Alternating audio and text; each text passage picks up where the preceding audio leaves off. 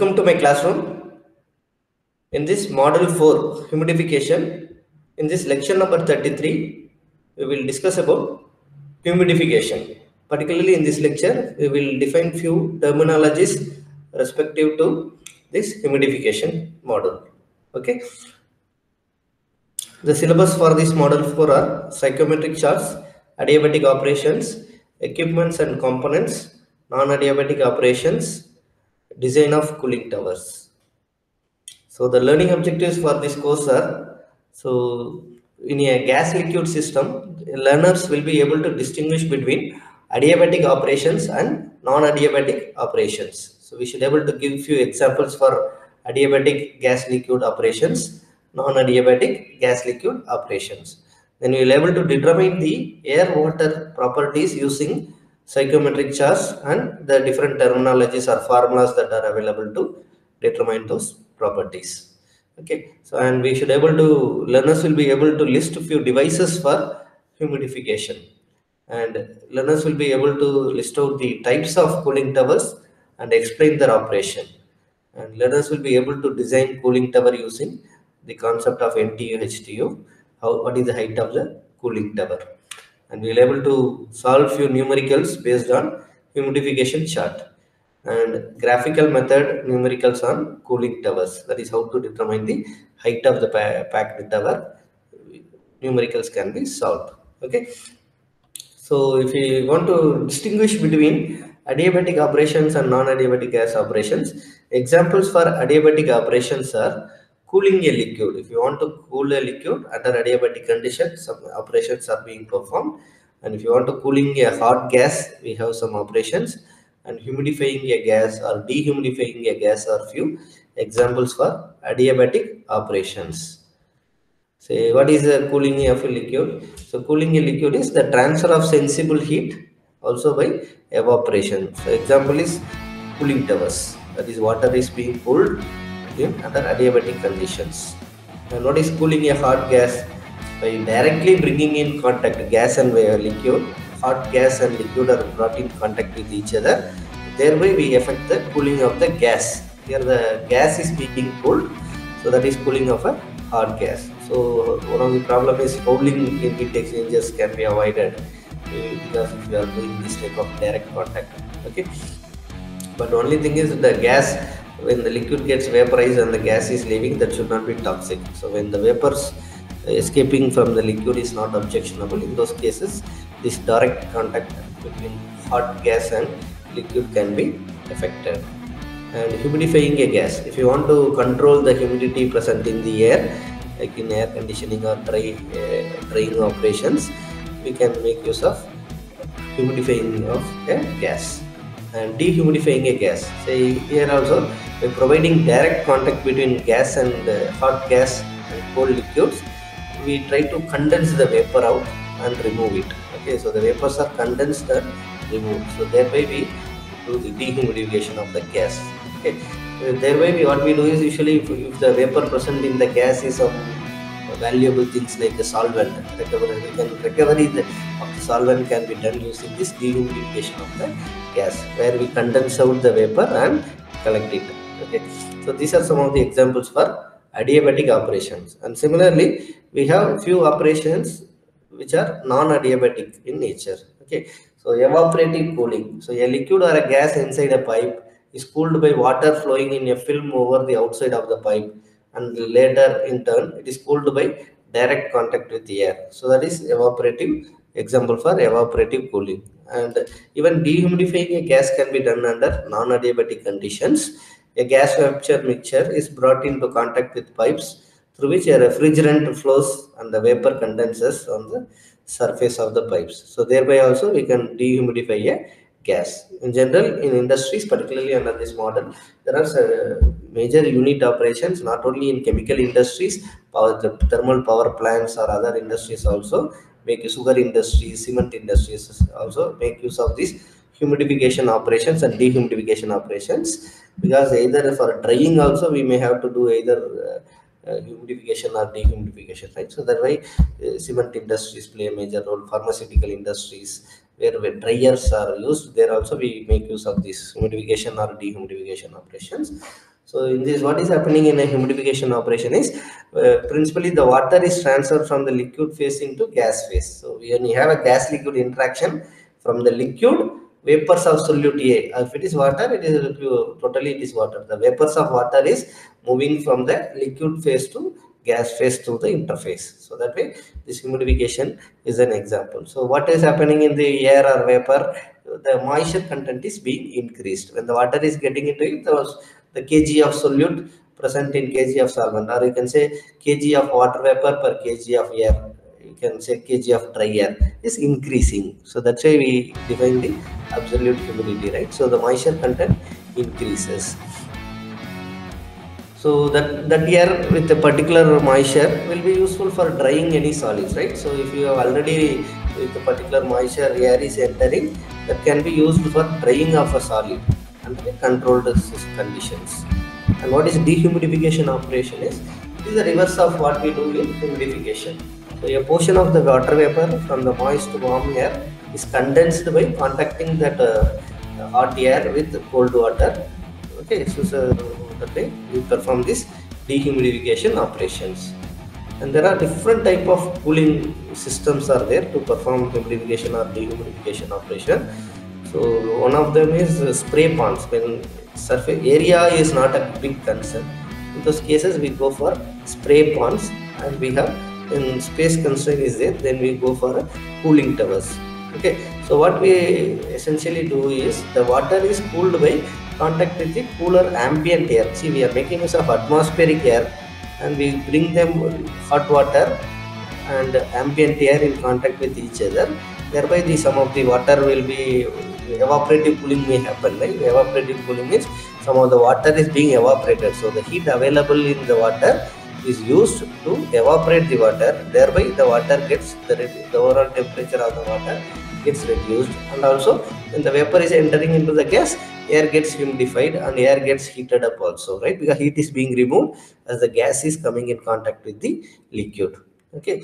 So thereby we, heat transfer is taking place as well as mass transfer of solute A from the liquid phase to gas phase also taking place okay? So most of this cooling occurs by evaporation as I told and only a small portion will be by sensible heat transfer also will happen okay so that's a significant portion of the condensed vapor is evaporated in this cooling system. Okay at least 5 percentage uh, there will be evaporation taking place.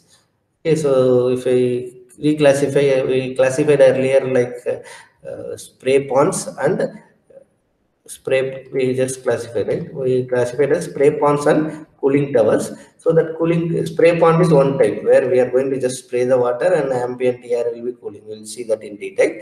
And then next one is cooling towers. So cooling tower can be either packed cooling tower or spray chambers. Okay so these are some of the equipment. So if in a packed in a packed cooling tower we are going to have a packing material or fill material and the liquid and gas will come in contact with each other and thereby heat transfer takes place and the temperature of the hot water is reduced. And we have spray chambers in which we don't have any filler materials. Only the water will be hot water will be sprayed. The air will come in contact with each other.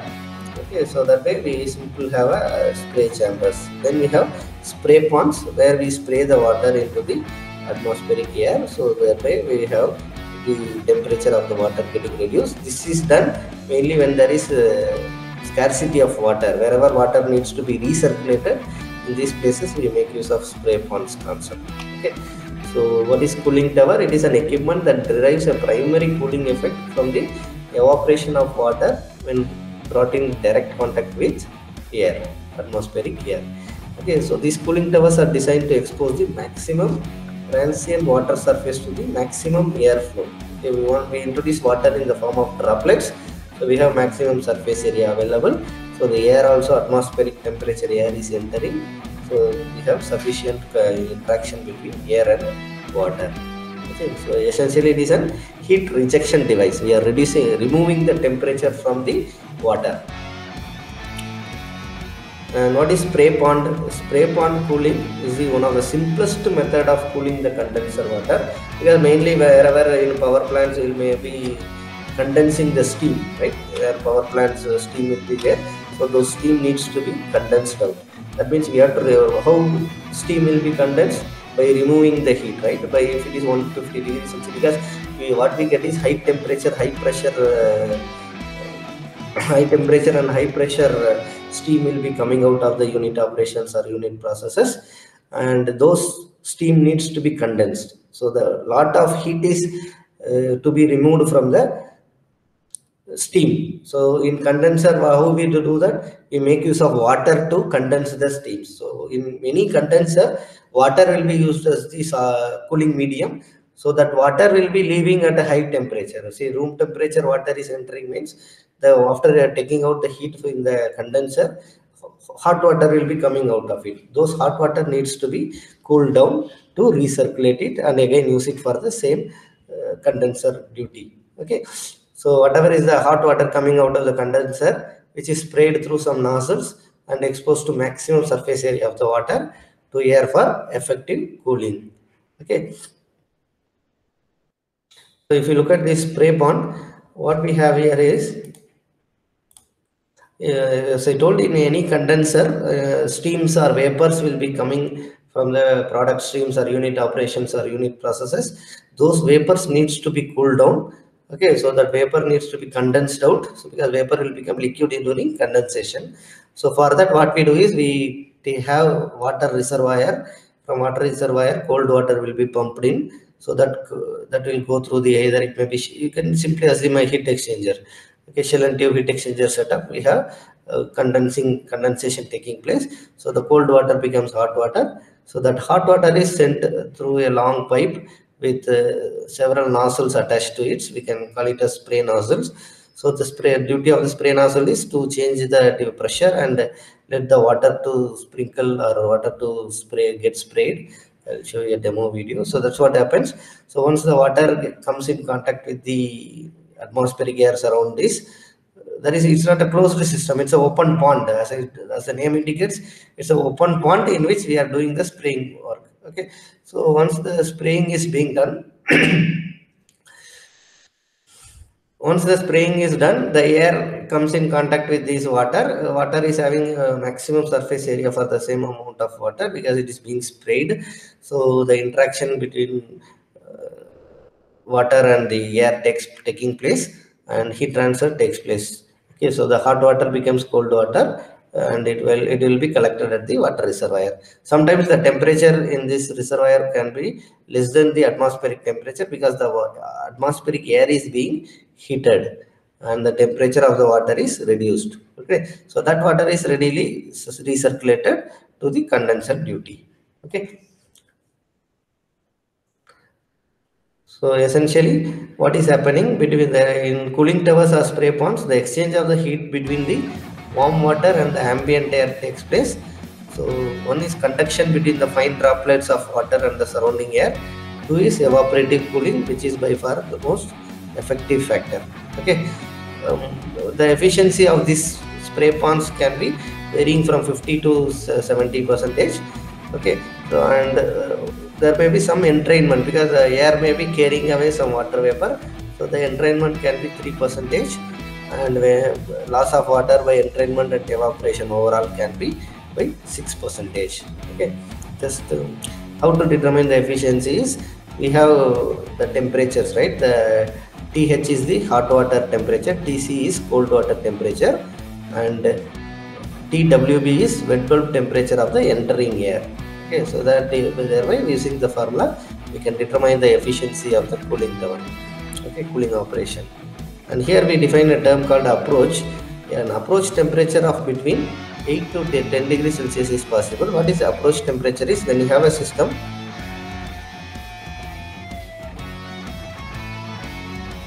okay what is approach? These are some of the terminologies we are going to learn. When you what is approach is the temperature difference between wet bulb uh, temperature of the incoming air and the outgoing temperature of the water. So that is known as cooling tower approach. What is cooling tower approach? We see simply we have in heat transfer course you are learning right? Hot fluid cold fluid are coming in contact with each other. If in counter current direction means air will be entering at lower temperature inlet temperature and air will be going out at high temperature. So the air is getting heated up.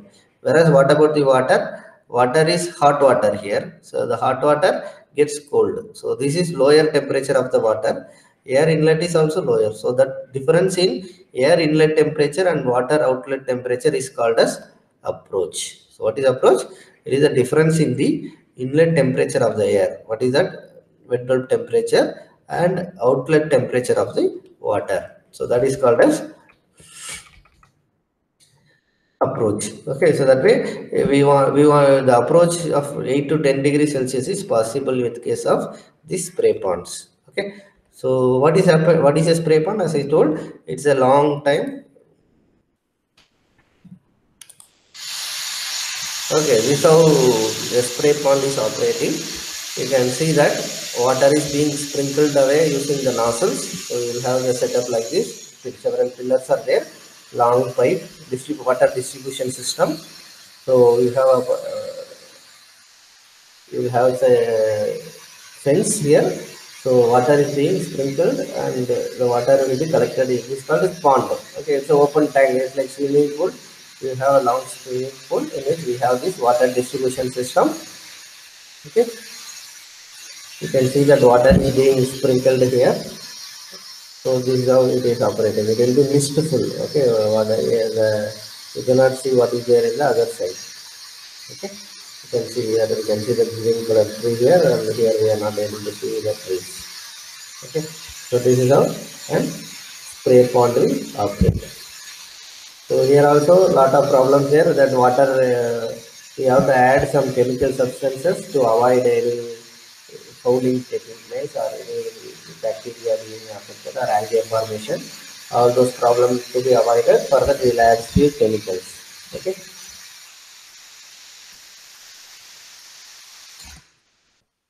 so the capacity can be there are two criteria involved in the capacity of any spray pond it depends upon the depth what should be the depth. Maximum one meter depth is sufficient okay? Only thing is water has to be available uh, thing so that the pump should be able to lift the water from the sump.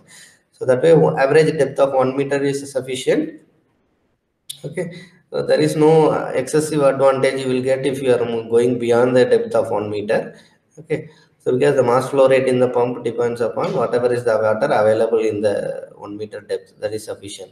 Another thing problem with the capacity how much capacity of a spray pond you want to have is depending upon the surface area available. If you have space is not a big constraint. You are having acres of land in the industry or if it is not in the heart of the city in those cases you may get a nice uh, space will be available. In those cases depending upon the area you make that much will be the area of the pond. So the area of the pond is the important on account of the necessity of arranging the nozzles so that the curtains of water formed by them do not overlap or interfere with each other so that the air may circulate between the sprays. The area of the pond is reduced from the quantity of water which it can treat per hour per unit area of the pond. Okay. So around 732 kg per meter square hour is the capacity for spray pond.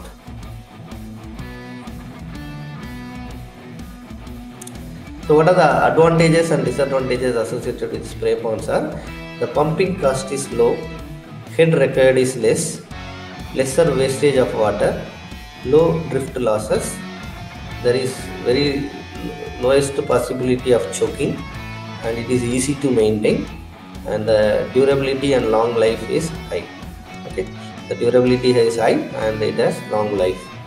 There are disadvantages or there are constraints associated with having a spray pond is so it as it requires large area approximately 25 to 50 times the area of the cooling tower. Okay. And the spray losses due to evaporation and windage losses will be there. So during any natural calamities also you may have damages. And there is no control over the temperature of the cooled water so you cannot fix what is the temperature of the final cooled water because it depends upon what is the atmospheric air temperature right and the efficiency of the cooling is around 50 to 70 percent as you said in average we can say good average is 60 percent efficiency only possible Okay, the cooling effect gets reduced with wind velocity. Okay, because when the air is uh, passing through it very fast, in that case the contact time is less. So when the contact time is less, the interaction is not going to be much, so the mass transfer will get affected. Okay, when the load on the plant increases, it does not respond to the change. See, remember it, whatever may be the hot water temperature, the amount of temperature reduction is same. Okay, so that means when the load on the plant is increasing, you cannot suddenly change the capacity of the cooling water or anything. Okay, that means there is no change in the, there is no option to operate it under the varying capacities. Has a maximum capacity as per the design capacity only. You don't have you cannot double it or you, uh, to do that one okay? So so these are the practical consideration we have to consider in a spray pond. A spray pond should be long and narrow to improve the efficiency at the center but cost may be an issue. All laterals should be provided with quick acting flushing valves at the ends easily accessible pump suction should be adequately protected from blockage by tank bagasse and other flotsam Easy access for cleaning the screens must be provided. The arrangement of nozzles may not allow always conform to a star pattern as cost will be an important consideration, but efficiency might suffer. Due to loss of water from the pond, a fresh water makeup system operating on pond level is required. So we are talking about the spray ponds. First what we have seen is uh, spray pond, now spray towers spray towers or spray columns or spray chambers. Simplest one is atmospheric towers. What is that? It is nothing but a big rectangular chamber with two opposite louvered walls that is slanting uh, inclined angle louvers. Tower is packed with a suitable tower fill. Atmospheric air enters the tower through louvers uh, driven by its own velocity. Direction and velocity of the wind greatly influence its performance. The figure shows the schematic of the atmospheric cooling towers. So all this we will discuss in detail in the cooling tower lecture. Please refer to lecture number 36 for detailed lecture on cooling towers where we discuss about natural draft towers. We have uh, induced towers, atmospheric towers, induced draft tower, forced draft towers. Okay. So the advantages associated with the cooling towers are uh, they occupy cooling towers in this is only in in comparison to spray ponds. Okay in comparison to spray ponds cooling towers have the following advantages. They occupy less floor space of the area required. Induced draft design with the fan motors so thereby you have a control. That is you are having a particular flow rate more efficient in comparison to spray ponds because we have seen spray pond has only 60% efficiency here we can achieve higher efficiency and there are certain disadvantages associated with it the there may be corrosion losses. That is because there is more than the, the carryover losses, which are 0. to 0.6 percentage of water flow. It may cause corrosion of the blades.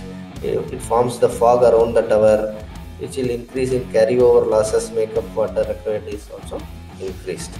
A lot of amount of water is lost means accordingly we have to add fresh water to the system. So that means when there is water scarcity, in those places uh, we have to rethink. The drift droplets have the same chemical impurities as the circulating water and the deposition of these chemicals on object causes the potential environmental concern. Cooling towers where sewage effluent is used for making up is highly conductive for growth of algae. That's what I told that bacterial growth, algae growth will be there. So that uh, for that so it can be overcome by using some chemicals. Okay and it requires more maintenance when there are there are more moving parts or there are more auxiliaries we will see how maintenance required is high so that we will discuss in detail in lecture number 36 okay so some of the terms like evaporation what is evaporation what is dry bulb temperature wet bulb temperature what is relative humidity what is approach all this should be known. Okay? So what is the mechanism of this cooling tower is sensible heat transfer takes place when the incoming air temperature is lower than the temperature of the incoming water. So thus heat from the water is absorbed by the colder air. So this very less percentage only it will take place But if that were the only cooling that take place inside a cooling tower, the cold water temperature would be limited by the ambient temperature. But however, the bulk of the cooling that takes place inside the cooling tower is driven by evaporation of the water itself. As the water is being evaporated, the heat is being utilized to evaporate the water. So thereby the temperature of the water is reduced okay so uh, because evaporation requires energy so when the water is evaporated within the film media in a cooling tower heat is removed with the water vapor and leaves in the exiting air stream from the top of the tower. The result is that the remaining water is cooled significantly even to temperatures well below the ambient temperature that is air temperature. Okay so what is entering wet bulb temperature? This term is often used ewbt that is the entering wet bulb temperature or wet bulb temperature. This is not of water. Okay remember wet bulb temperature of the air. Okay it is a measure of the level of humidity in the ambient air entering the cooling tower. In general higher the wet bulb temperature the more moisture is presenting in the air. Okay wet bulb temperature is high it means more moisture is existing in the air. The wet bulb temperature is a key parameter in designing or sizing of a cooling tower because it determines the degree to which more water can be evaporated. Okay. So cooling towers operating in high wet bulb temperatures require a larger tower than those found in lower wet bulb regions of the country. That's an important parameter we should know. So what are the factors that govern the operation of a cooling tower are as i told the what is the wet bulb temperature of the air and dry bulb temperature of the air quality the properties of the air, wet bulb temperature and dry bulb temperature. That is a first and foremost factor which will govern the operation of the cooling tower. The temperature of warm water, the efficiency of contact between air and water in terms of volumetric mass transfer coefficient. So if you are using packing material thing, so that volumetric mass transfer coefficient also comes into picture. And what is the contact time? What is the L by G ratio? What is the uh, ratio of L by G also will define the performance of an cooling tower. And the uniformity of the distribution of the phases within the tower. How well the liquid is total uh, how well the liquid is distributed all across the cross section of the cooling towers also an important issue. And what is the pressure drop taking place? Because when there is pressure drop it is costing you energy right? So the pressure drop in the system also governs the performance and what is the desired temperature of the cooled water? Are we going to recirculate the water? What should be the final water temperature? That also will be defining the performance of the operation. So that's why to learn more about these cooling towers we should know some of the technical terms right? Like dry bulb temperature wet bulb temperature dew point temperature what is specific humidity what is relative humidity what is specific enthalpy and specific volumes they all needs to be related. Okay so to define them there are two ways. We can make use of the definition formulas to determine those parameters or we can make use of psychrometric charts. Okay so that way if you want to make use of psychrometric charts we need two independently intensive properties which can able to specify the state of the air in the using the psychrometric chart. Okay so psychrometric chart illustrates the enthalpy scale dry bulb temperature scale specific humidity scale wet bulb temperature scale saturation curve. Okay so we have adiabatic lines. So all that will be there using in the psychrometric chart. We will learn that in detail in this lecture because psychrometric charts are useful for these cooling tower operations and air conditioning applications. Okay the same thing what we have learned in cpc course only. We are going to look back and refresh our knowledge. Okay so we remember there are two type of cooling towers cross flow cooling towers and counter flow cooling towers. So it is similar to heat transfer operations counter flow or cross flow. We are going to discuss them in detail.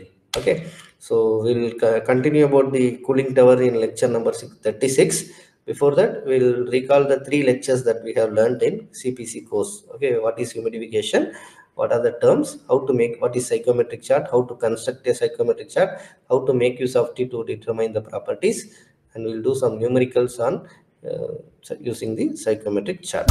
Okay. The learning objectives of this lecture are learners will be able to explain the following terms like what is saturation for air water gas mix air water mixture you will be able to define the terms such as what is humidification, dehumidification, humidity, percentage humidity, relative percentage humidity, wet bulb temperature, dry bulb temperature, dew point, adiabatic saturation temperature, saturated volume and humid volume, humid heat and sensible heat. And also learners will be able to construct a psychrometric chart. Also learners will be able to solve numerical using psychrometric chart. So these are the learning objectives of this particular lecture. Okay. So I have told you that humidification has significance because it finds application in liquid cooling, gas cooling, adiabatic humidification, and dehumidification, evaporative cooling, and water desalination. Okay, first let us start with what is saturation. Saturation, we have to define what is saturation as it applies to a mixture of air and water. Okay, so let us consider a liquid, say water, and a gas, say air, in a closed container. So in, let us have a liquid and air system, particularly water air system in a closed container. So we are having a closed container. Okay. As the vapor in the gas, actually what will happen, the molecules of air, this water will try to escape into this vapor. Say for example, if you are heating it, what will happen? So the molecules will try to go into this air. Okay, so as we increase the temperature of the liquid, some of the molecules will try to escape from this liquid phase and gets into the gas. That means it will become water vapor and they are present in the gas. Okay, but what will happen as we keep increasing, the partial pressure of the vapor in the gas increases. Okay, so the amount, the number of molecules present in zone will keep increasing. But there will be a stage, a stage will be reached that at that moment the number of maximum amount of vapor has been reached. The maximum amount of vapor that this gas mix, gas or air can hold has been reached means beyond that whatever is being added that will be condensed or returned back into the liquid. Okay, that means it has reached a maximum pressure. We can say that that is the partial pressure which is equivalent to vapor pressure. At this particular temperature T, the partial pressure of the vapor in the gas phase is equal to the vapor pressure of this one. Vapor pressure of the vapor, vapor pressure of the liquid. Okay. So at this given temperature. So what will happen even though you further change the temperature, this partial pressure will not increase further because already it has saturated, it has reached the vapor pressure. Okay. So that way beyond which there won't be any change in the partial pressure until unless we change the temperature of the system. Okay. So this state is called as saturation. Okay. So if gas is unsaturated, it means that the partial pressure of the vapor is less than its less than the vapor pressure of the liquid. Okay, so when we get saturation, we say the air is saturated with liquid vapors when the partial pressure of the vapor is equal to the vapor pressure of the liquid. Okay.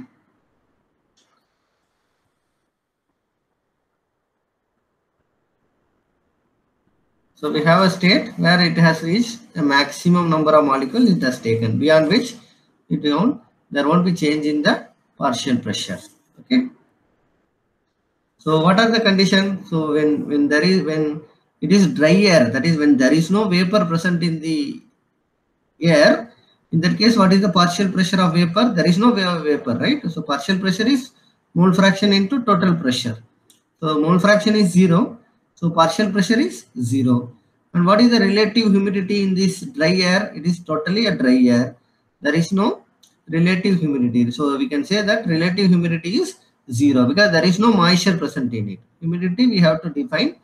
Okay, so humidity is the amount of water vapor per amount of or you can say per kg of dry air. So there is no water vapor at all. Therefore, relative humidity is going to be zero and there is no water vapor mole fraction is zero therefore partial pressure is also zero. So that is one condition. But once we start that is once the liquid uh, molecules get vaporized and enter into the gas phase So we have a partial pressure, but the partial pressure is not equal to the vapor pressure of the liquid. So partial pressure is less than the vapor pressure. And similarly this relative humidity is will not be equal to 100 percentage. Okay. So the humidity present in this one is not going to be its maximum humidity. But whereas at what when we say it is a saturated air, two conditions prevails. Okay, one is that partial pressure is equal to vapor pressure of the liquid and relative humidity is maximum. It is 100% saturated. Okay, that way relative humidity is 100 percentage. Okay. So what will happen during this condition? So in this during this phase, only evaporation takes place because there is no vapor present in the gas. So there is no condensation possible, right? Whereas in this case, since already some vapors are there, there is possibility of condensation. But uh, actually there will be more evaporation and less condensation. But whereas at saturation conditions, the rate of evaporation will be equal to rate of condensation because they are in equilibrium. Okay, so I repeat, here only evaporation takes place and no condensation takes place. But if it is moist air and already some vapors are present, some of them may be coming back, uh, may be condensed. Okay, there will be less condensation, but there will be more evaporation. Similarly, here at saturated condition, the rate of evaporation will be equal to rate of condensation. Okay.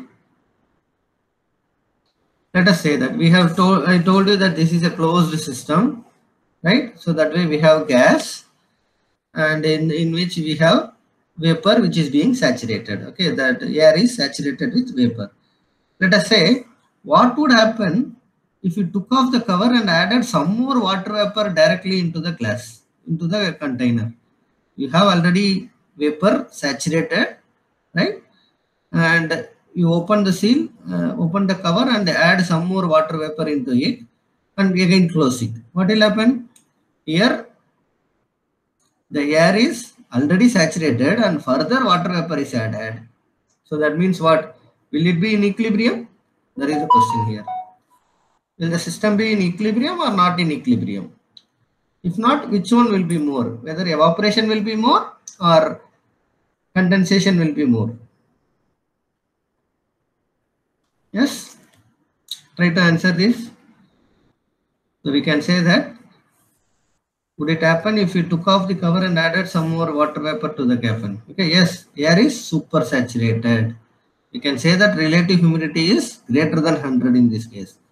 But is it a system in equilibrium? No, the system is not in equilibrium because you now more condensation will take place. Equilibrium means we should have rate of evaporation equal to rate of condensation. But even since more vapor exceeding the saturation limit of 100% is there, so there will be more condensation and less evaporation.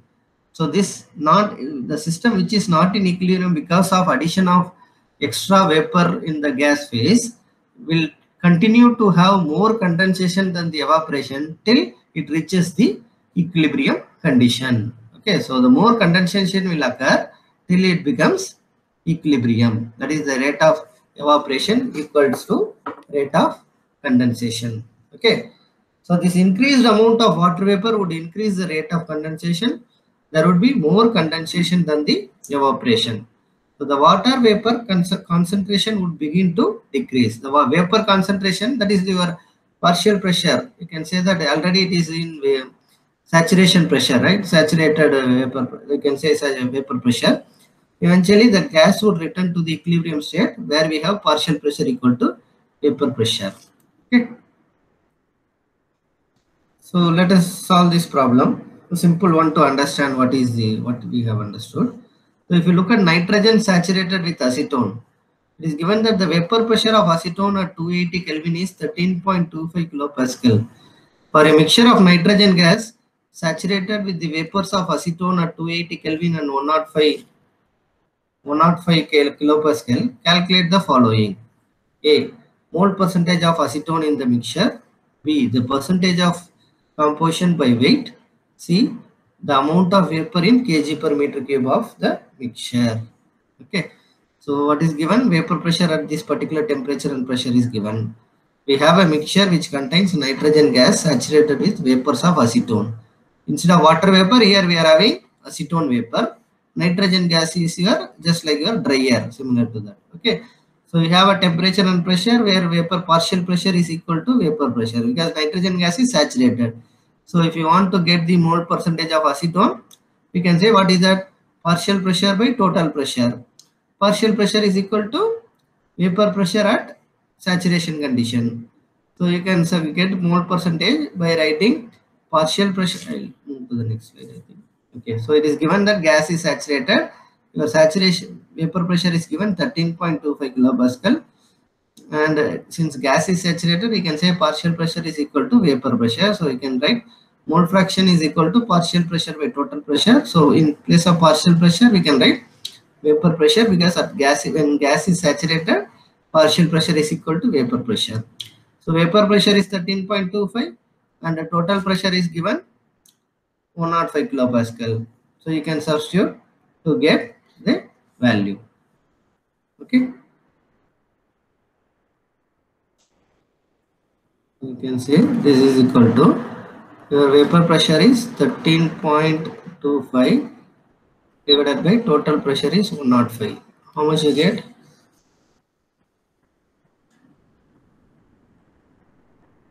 Thirteen point two five divided by one not oh five is equal to point one two six two.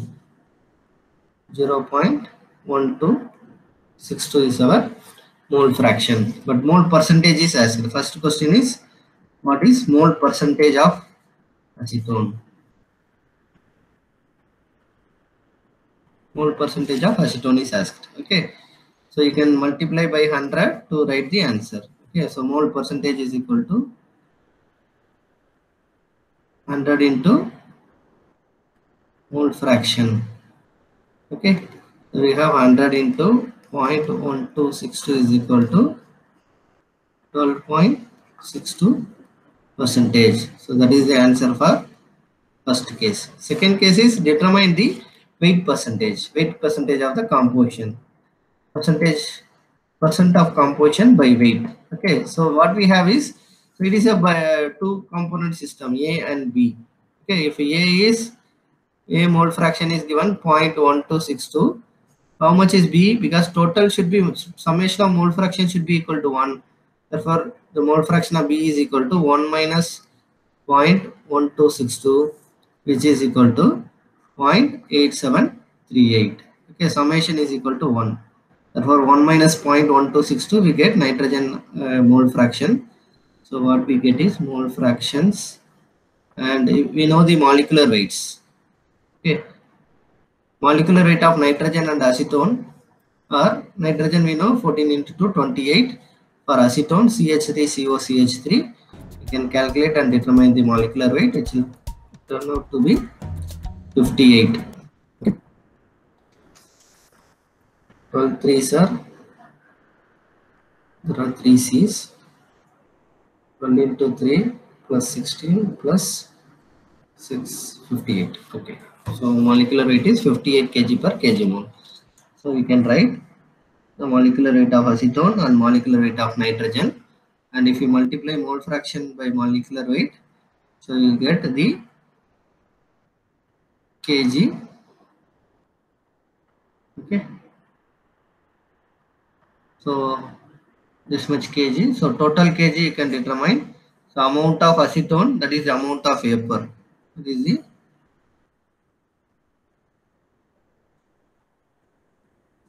so this is the amount of vapor and this is the amount of nitrogen.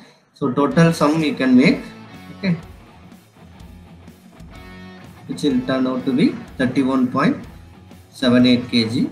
And you can get the weight percentage 100 100 times 7.32 divided by 31.78 gives us the acetone weight percentage.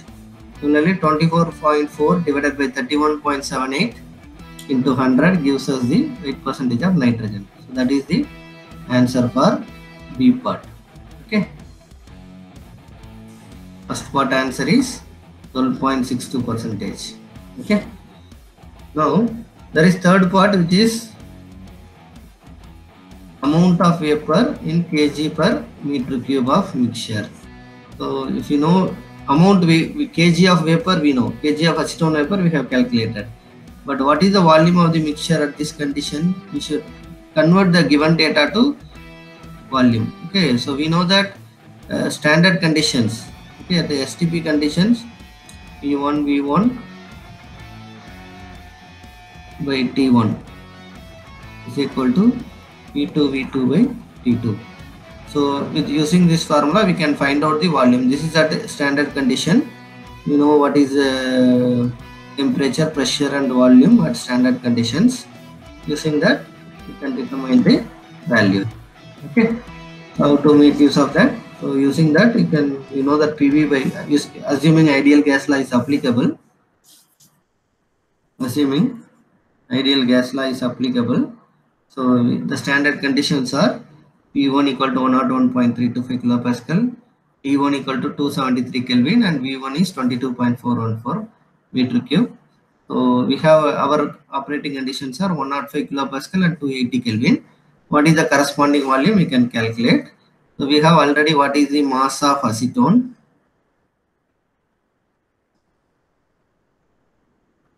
We know mass of acetone vapor divided by this V2. What will be the unit? This is kg. This is going to be meter cube. So we will get this much kg per meter cube. Okay. So, so we can calculate and write the answer for third part. Okay. So please calculate and comment your answer. Now, getting into humidification and dehumidification. What is humidification and dehumidification? I have explained a while ago. Okay, so in this operation, essentially, water is transferred from liquid phase to vapor phase, or you can say gas phase. Okay, the liquid vapor is entering into the gas. Okay, so actually, the moisture content. What happens to the moisture content of the air? The moisture content of the air increases when we are performing humidification operation. Okay, so actually why we should do this? Air with a particular moisture content is useful for drying of a solid under controlled conditions. Okay, if you want to dry some of the solids under a controlled condition, the entering air which should have a fixed moisture content. Okay, so that way we have to do this humidification. Okay. So these are some of the applications of humidifier. You can say that in house household applications we have seen this kind of humidifier being present in in a controlled room atmosphere conditioning. We can do humidify if it is dry condition. Okay, and in fuel cells, the raw materials are being humidifier is sent to humidifier. Okay, and you can see that industrially how the humidification is being done. You have the water sprayers are there, packed materials will be there. So we have humidifier, whatever gas is there. Okay, so we do this thing, pure water distillation is obtained. So this is what a desalination plant, how it works. Okay, so this humidification is used in desalination plant to get pure water. Okay and cooling water is a very popular example for humidification and particularly in our mass transfer course we are going to study about these cooling towers that we will make use of whatever concepts we are learning in this particular process, chemical process calculations okay the psychrometric chart or the humidification absolute humidity whatever we are defining and we are determining from the psychrometric charts we are going to make use of them in the designing of cooling towers, design parameters for cooling towers in mass transfer course. Okay. So, and what is dehumidification? Essentially, dehumidification, as the name indicates, is the reverse process of humidification. In humidification, from liquid, the vapors are added into the moisture is added to the air. In dehumidification, the moisture will be removed from the air. Air. Okay.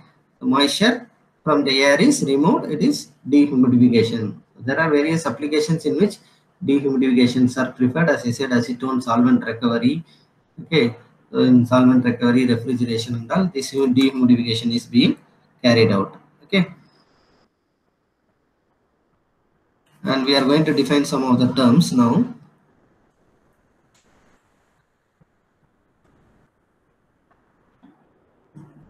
what is mixing ratio.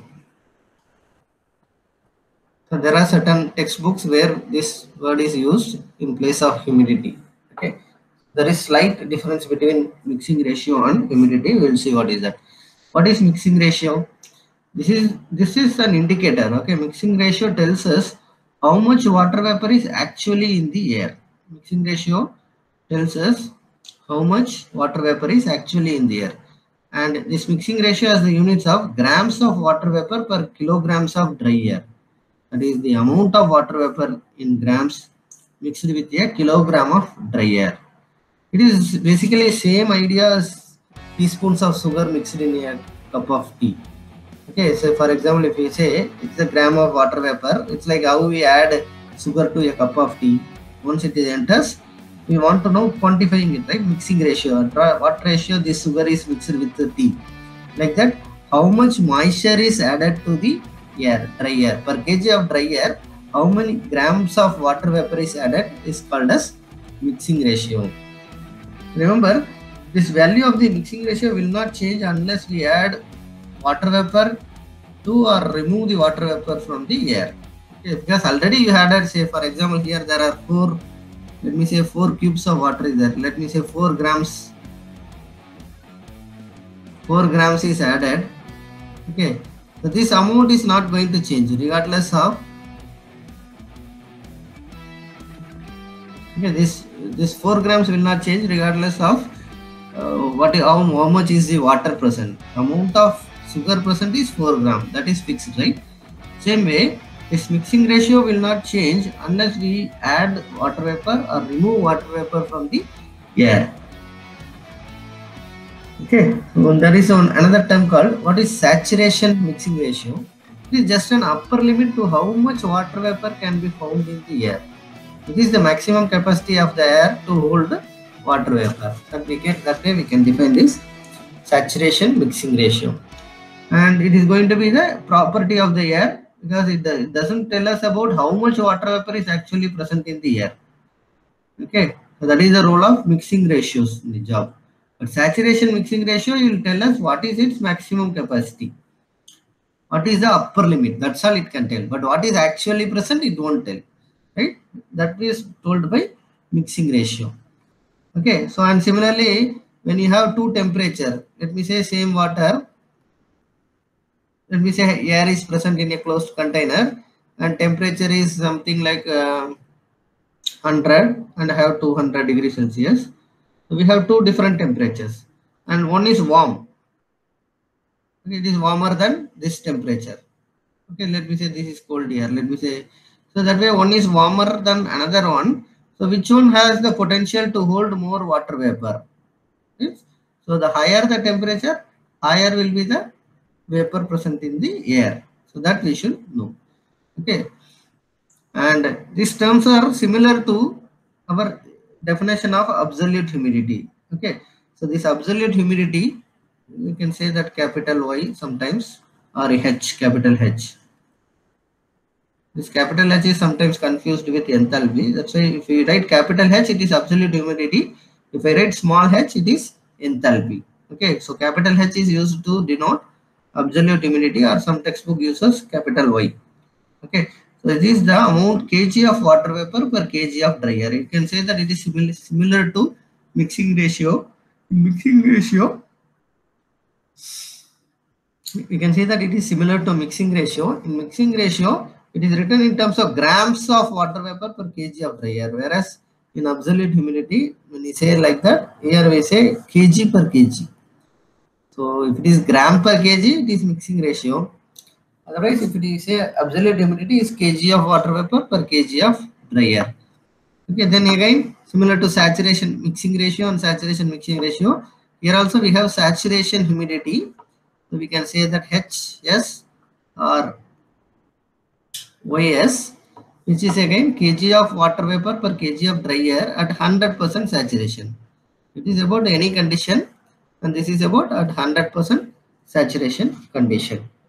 And uh, what if, if you want to express this ratio of kg of water vapor per kg of dry air in terms of moles? Okay, if you want to express it in terms of moles,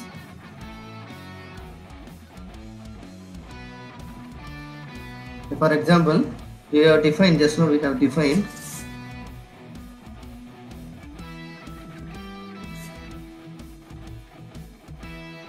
We have defined absolute humidity as kg of water vapor per kg of dry air right? So we can define can define molal or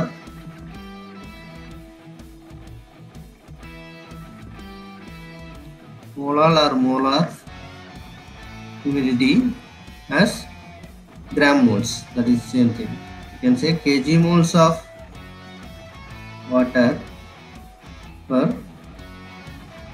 kg moles of dry air okay. So so kg moles of water plus kg moles of dry air is molar humidity. Khm i can say or ym okay.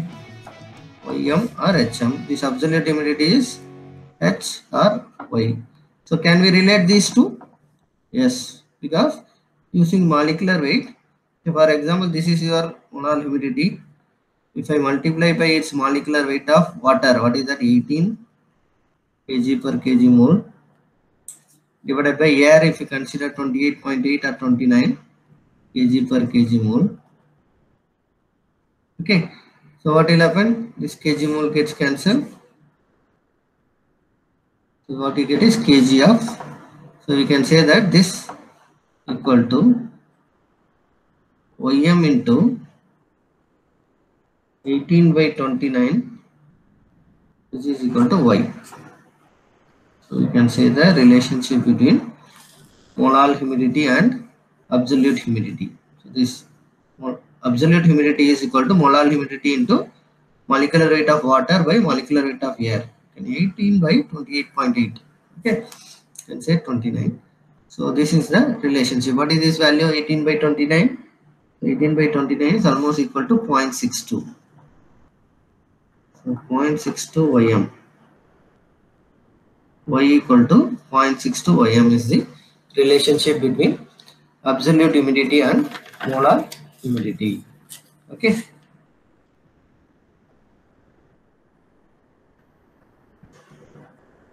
So we can define the other terms such as saturation humidity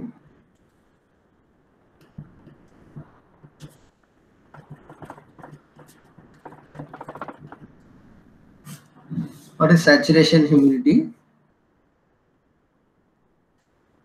Oh, yes. Okay, same definition only. Absolute humidity at saturation. Absolute humidity at saturation.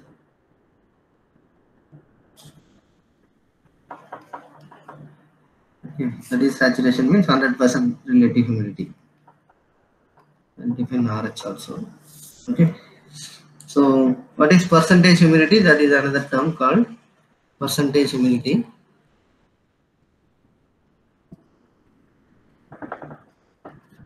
Percentage humidity is p which is we have absolute humidity y and we have saturation humidity ys. The ratio is called percentage humidity. So you can say y by ys which is absolute humidity by saturation humidity saturation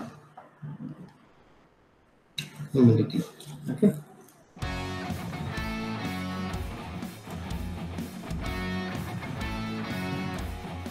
now we have another term called relative humidity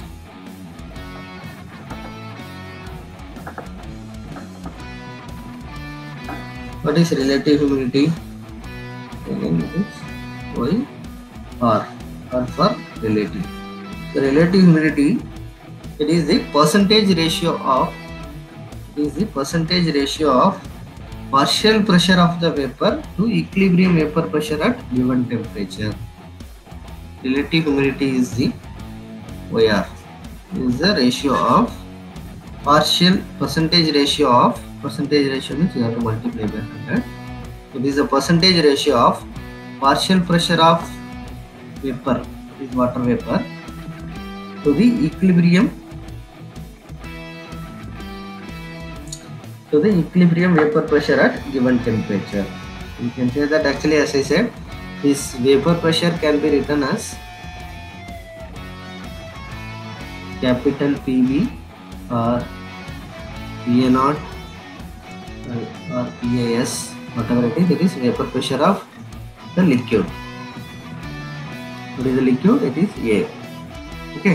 Whereas cap small PA, capital PV also we can write right. So what is partial pressure? That is written only in one way. Partial pressure is equal to small p A. Okay, not capital P. Capital P is total pressure. Okay. So by this time you know what is the terms. Okay. Total pressure is capital P, partial pressure is small pa.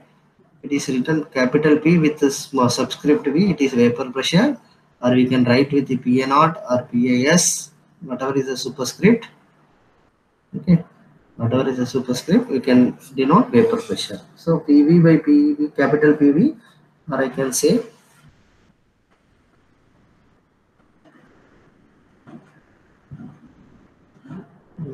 if I write it to PA now, I can say PA naught. If we skip PA, it is binary mixture. Okay, for binary mixture, we can skip it. Okay. So this is called relative humidity. Okay. There is another term called as humid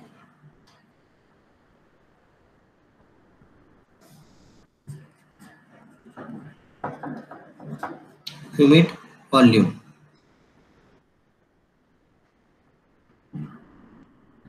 Humid volume so capital v subscript y humidity volume.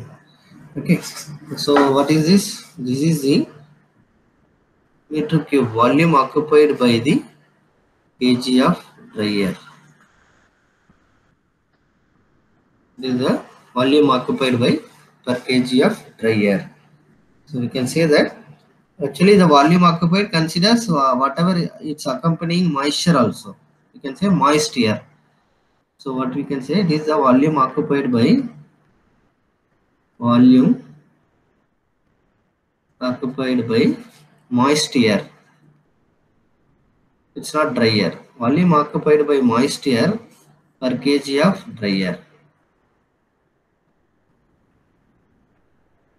What is that? So that is in the numerator it is going to be volume occupied by the kg of dry air plus associated moisture in it. When you say moisture, what does it mean? It is one volume occupied by, I can write in other terms, is the volume occupied by volume occupied by 1 kg of dry air and its moisture and accompanying moisture at dry bulb temperature. We'll see what is dry bulb temperature. At dry bulb temperature and atmospheric pressure. Okay, so this is humid volume. We have defined already what is saturation. Okay.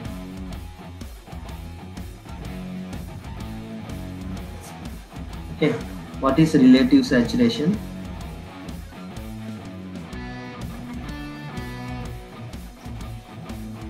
So relative saturation by R is equal to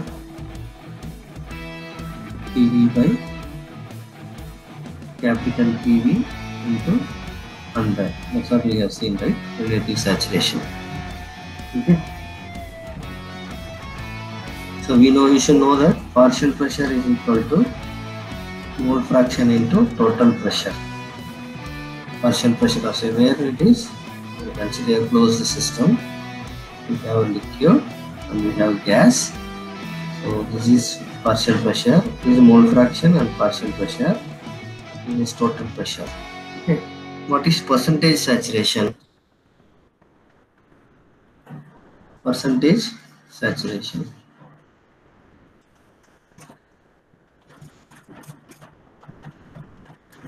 Percentage saturation percentage ratio of existing molecules of A that is the percentage ratio of that means multiplied by 100 number of moles of A per number of moles of vapor free gas to the number of moles of vapor that would be present per mole of vapor free gas if the mixture is saturated at given temperature. Okay. Let me say ns okay. So actual number of moles divided by number of moles at the saturation. Into 100 is called percentage saturation. Actual moles. It is like imaginary thing. Okay. If it is saturated what would be the number of moles? Okay. So number of actual moles divided by number of moles at saturation okay so na by let ns be the number of moles that would be present if the air is saturated at the given temperature and pressure and Na is the number of actual moles that is present. Okay, and number of moles is proportional to partial pressure, right? So you can write number of moles is equal to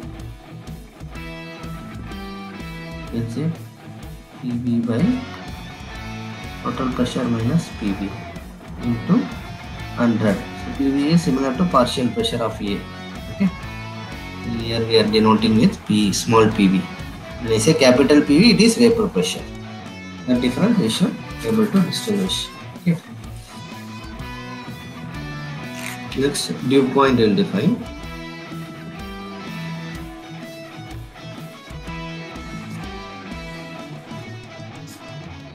Dew point.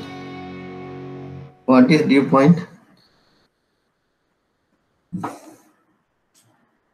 So when you close the system, when you have liquid and vapor is present in the gas, okay, when this unsaturated gas mixture is cooled at a constant pressure, this partial pressure will remain the same. Partial pressure will remain the same, but the temperature of the mixture will fall till a temperature at which equilibrium vapor pressure of pure liquid, equilibrium vapor pressure of pure liquid is equal to the existing partial pressure. Any further cooling will result in condensation. Any further cooling will result in condensation. So this point is called as dew point temperature.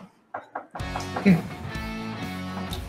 That is after this temperature if you cool further condensation will begin. This is the first we can say the first drop of condensate is formed is called temperature at which first drop of condensate is formed is called dew point. I think in the same is explained in TXY diagram also, right? In TXY diagram also, we have this being defined, dew point temperature. Okay. And we should know that at dew point, what happens is equilibrium vapor pressure is equal to partial pressure of vapor in gas mixture. At dew point,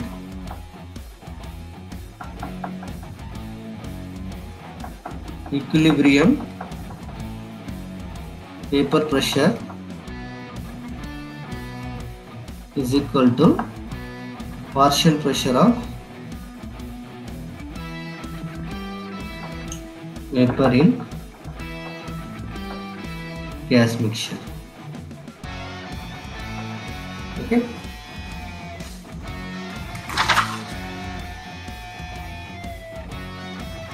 Now, can we show that percentage saturation is always smaller than percentage saturation is always smaller than the relative saturation? How to show that?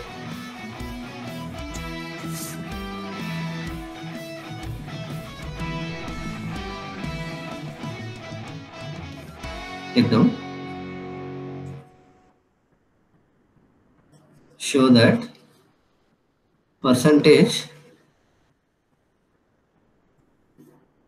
saturation is always smaller than relative saturation that is percentage saturation means why? Is always smaller than ys how to show that? Or you can it can be asked as express yp as a function of y yr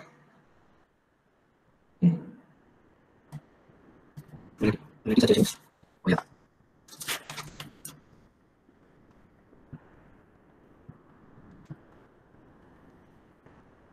So we have to show that yp is yp as a function of yr. What is the relationship between yp and yr?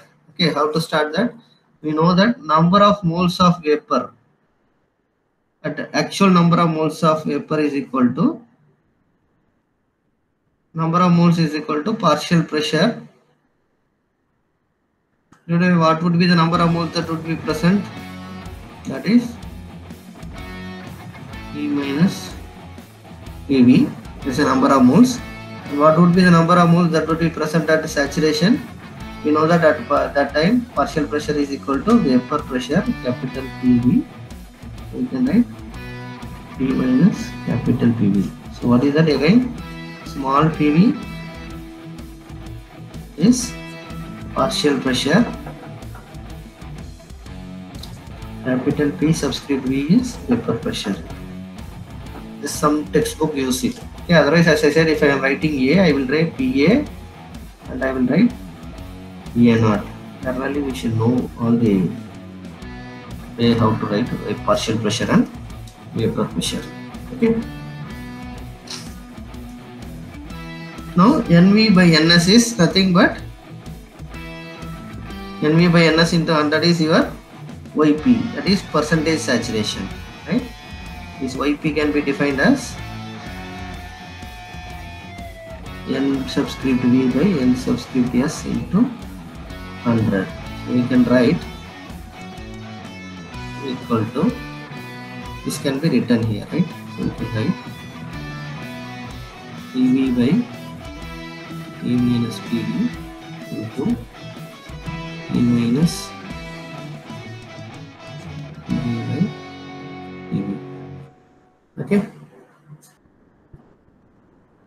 so what we can do is we can rewrite this like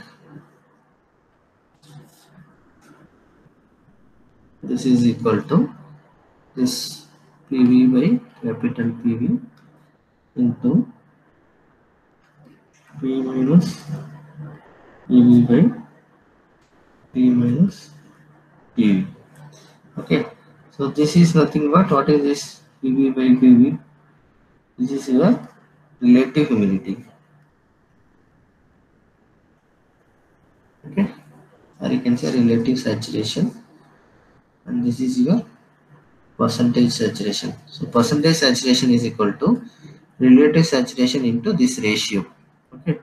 So this is some value e minus e by e minus eb okay. So this shows that yp is always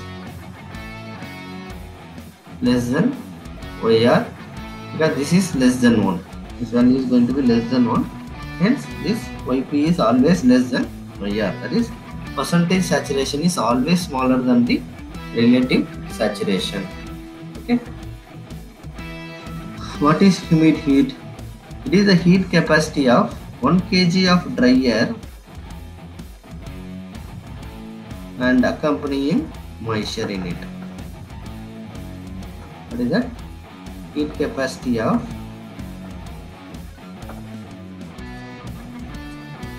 heat capacity of 1 kg of dry air and the moisture associated with it is called as humid heat. So we can use this formula to determine humid heat. Cp is equal to 0.24 plus 0.45 into y where y is the absolute humidity. So the Cp shall have the unit of kilocalorie per kg air degree Celsius. kg of dry air per degree celsius okay you can say that it is other unit also it can be written. In terms of kilojoule it is going to be 1 plus 1.84 into can be equal to 1 plus 1.84 into y. If cp is in the unit of kilojoule per kg air degrees kelvin. Okay so these two formulas you can make use. If you want cp in this unit or if you want cp in this unit. Okay we can make use of cp equal to 0.24 plus 0.45 into absolute humidity is the humid in kilocalorie per kg air kg dry air degree celsius. Or you can say 1 plus 1.84 into y kilojoule per kg air dry air kelvin. Okay so that is the definition of humid heat. Well we have seen what is percentage humidity and what is relative saturation so we have seen that seen the relationship between percentage saturation and relative saturation how they are inter interconnected. So we can solve this numerical to understand that better. A mixture a mixture a mixture of ether vapor and nitrogen contains 50% ether by volume calculate the relative saturation and percentage saturation of the mixture at 295 kelvin and a pressure of 750 mm mercury small okay. vapor pressure of ether at 295 kelvin is 440 mm mercury. This is also small mm so how to solve this problem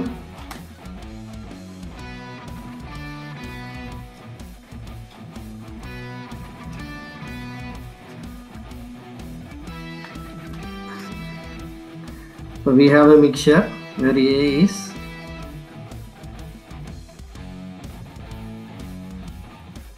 we have a mixture where A is ether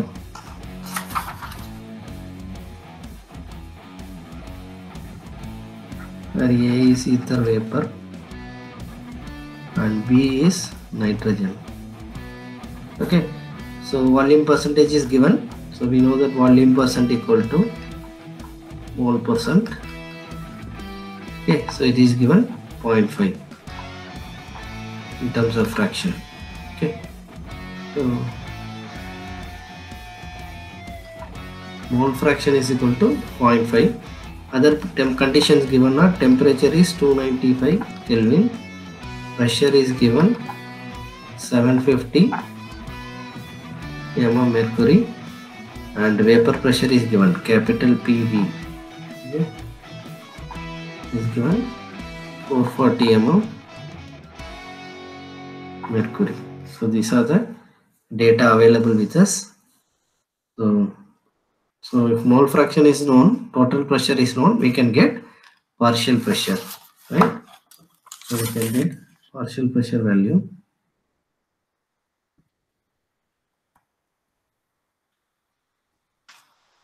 So we can get partial pressure value.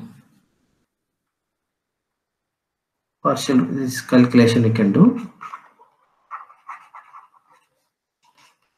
Partial pressure is equal to mole fraction into total pressure 0.5 into 750 mm mercury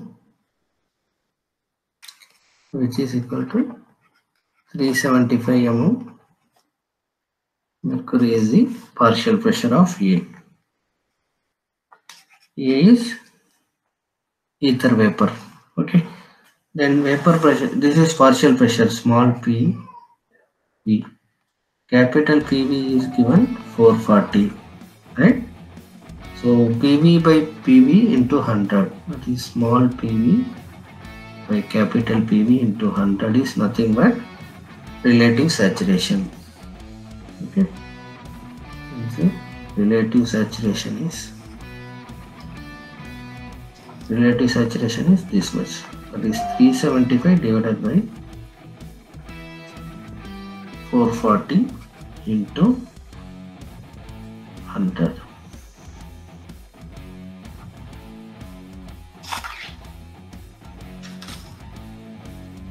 into 100 equal to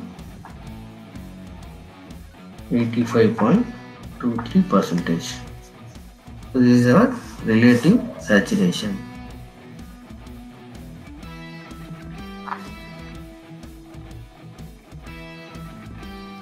Okay. Similarly, what is percentage saturation?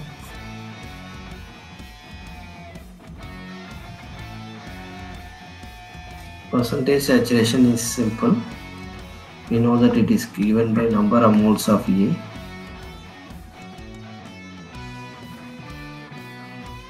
number of moles of A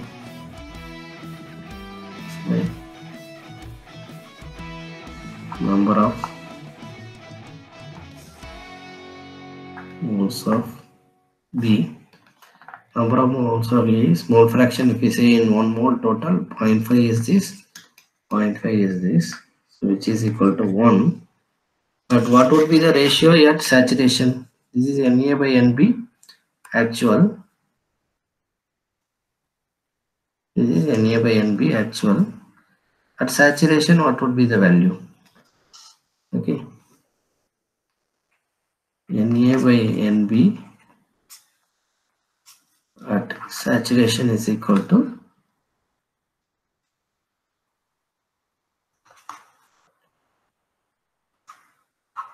partial pressure by vapor pressure that is 440 by 375 which is 1.419 okay. So this is Na by Nb at saturation. If we take a ratio of this divided by this we will get the percentage saturation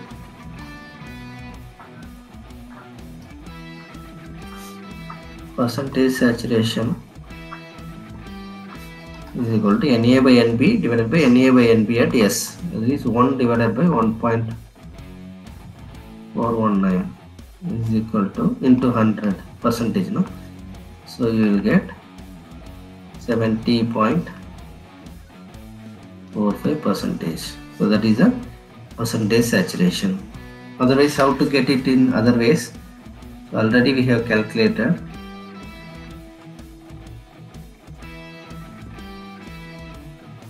So other way to calculate is we have yp is equal to